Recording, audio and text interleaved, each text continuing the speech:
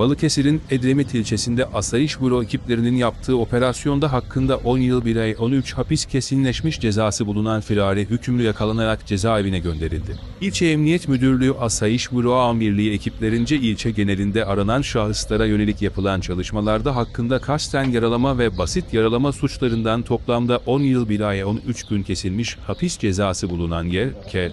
53 yakalanarak gözaltına alındı. Emniyetteki işlemlerinin ardından adliyeye sevk edilen yer K tutuklanarak cezaevine teslim edildi.